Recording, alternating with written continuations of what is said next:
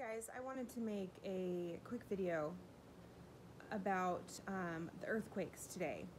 So there was a 6.5, an 8.1, a 7.4, a 6.1, and a 7.3. And they were in New Zealand.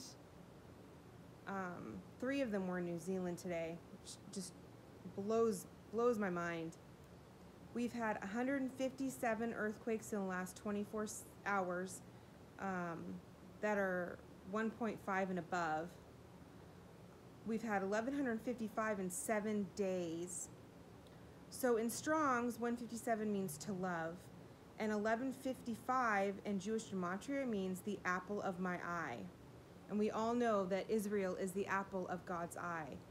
If you were to add up the earthquake numbers that happened today, you'd get 35.4. So I looked up 354 in Jewish gematria, and you get Lord of Light, Omega God of Light, Lord God coming, Michael the Archangel, Abraham Accords, Decision Time, and Arms Forces. Then I looked up the times of the day that the earthquakes happened. 225, All Rise. 128, Biblical Code. 1141, Bride of Jesus, the Eternal King of King, Lord of Lords, White Lion, Act of War, and Heaven's Guard. 1053, Testing, Testing, Testing. 727, God Prophecy, Lord and Magnificent King of Kings. We are so close, you guys, to going home in the rapture. Jesus is about to come get his bride. If you are not saved today, I implore you, please get saved.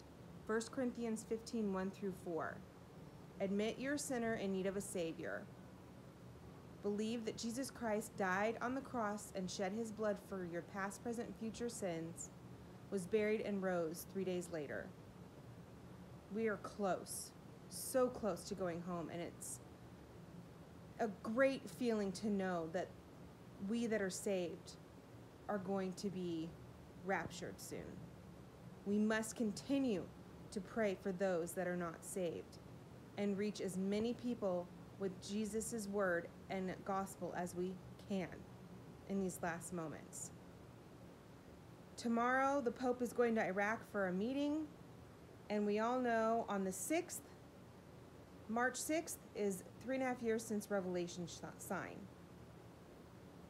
God is putting it out there for all to see. He is showing us we must pay attention. Continue to pray for one another and love each other. I love you. God bless.